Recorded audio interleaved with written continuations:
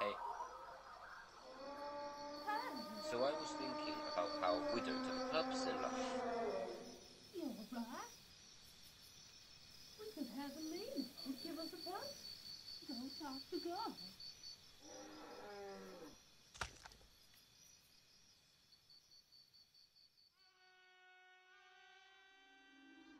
Almighty God, Who are you? I am a humble frog. Can you hear me?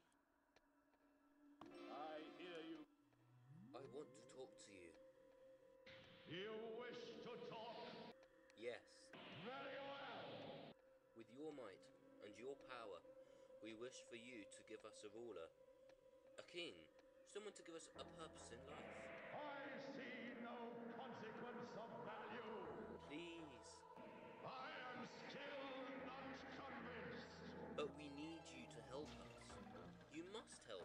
Go then and give thanks to God that is merciful.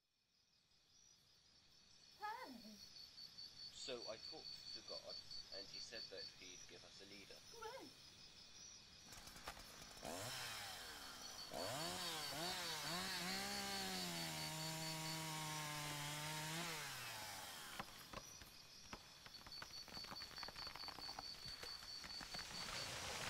Is that all, King?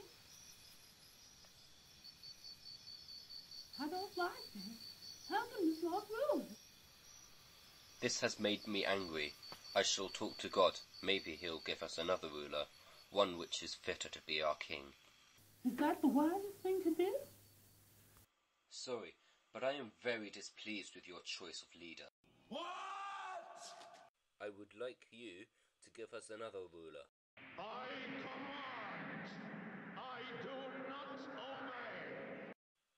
I must insist that you. Be silent! But You have angered me. You are facing death.